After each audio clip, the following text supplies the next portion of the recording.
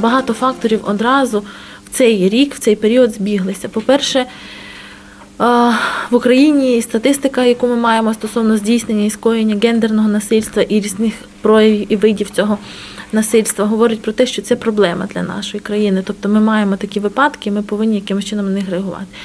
Інший аспект це те, що буквально на минулому тижні Верховна Рада України мала можливість проголосувати за ратифікацію Стамбульської конвенції щодо попередження і боротьби з проявами гендерного насильства. І це голосування е, ну, не відбулося, тобто Верховна Рада не проголосувала. Тобто зараз ми маємо ще й такий суспільний громадський запит на ці питання. Ми повинні, е, ми в значенні це ті організації.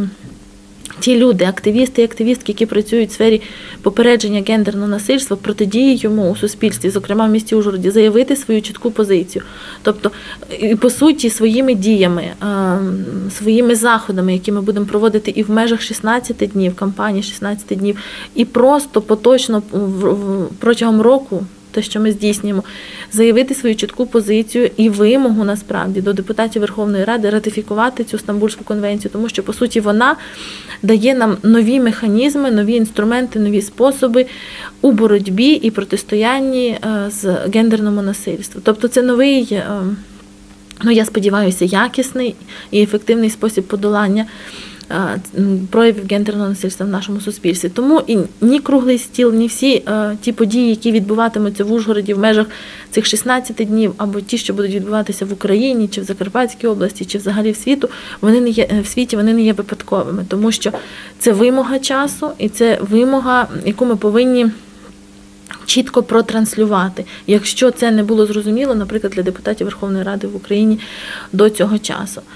Загалом, е, під час круглого столу мені було цікаво почути думки своїх колег з приводу того, яким чином ми могли поліпшити ту співпрацю, яка вже на сьогоднішній день десь існує, але подекуди вона має, треба відверто про це сказати, ну, певні прогалини або білі плями. Тобто весь алгоритм надання допомоги особам, які потребують її, або особам, які постраждали чи потерпають від гендерного насильства, найрізноманітніших проявів. Тобто тут від зґвалтування, е, сексуальних домагань на роботі.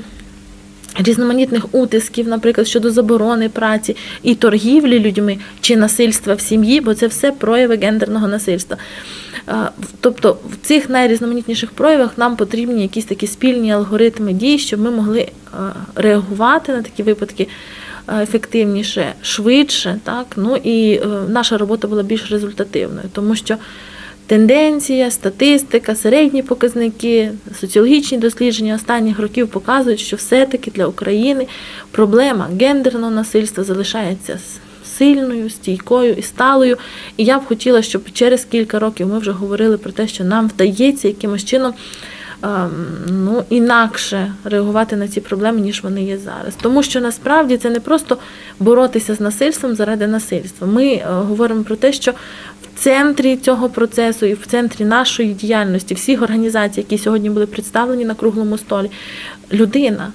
Тобто, насправді ми вболіваємо за людину, чи то є жінка, чи то є чоловік, чи то є дитина.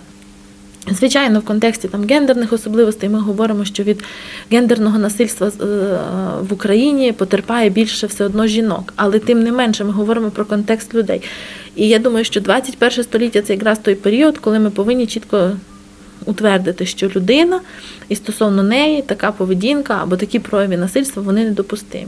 Ну і якщо це буде зрозуміло на рівні міста, я думаю, це буде зрозуміло на рівні регіону і на рівні держави. Тобто ми зможемо якимось чином. Про це серйозніше заявити. Тому я тільки вітаю такі ініціативи з боку міської влади, з боку місцевих громадських організацій в місті Ужгороді, які намагаються якимось чином каталізувати цей весь процес, якимось чином вивести його на таку площину ефективної співпраці, і головне, що результативної.